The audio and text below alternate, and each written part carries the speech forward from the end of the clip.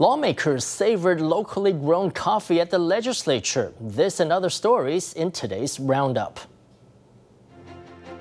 Liu Chien-kuo, one of Yunlin's representatives in the legislature, was at the legislative cafeteria promoting coffee from his home county's Gukeng Township ahead of the National Coffee Festival set to kick off there tomorrow. Lawmakers, including Legislative Speaker Su Jia-chyuan, were full of praise for the Gukeng coffee brewed and served by Liu himself. Taiwan Adventist Hospital in Taipei is the latest organization to bring on locally developed humanoid robot Pepper for an automated service role. The robot is helping patients find their way around the hospital and can make and check appointments. What's more, Pepper is even programmed with the ability to approximate a person's age.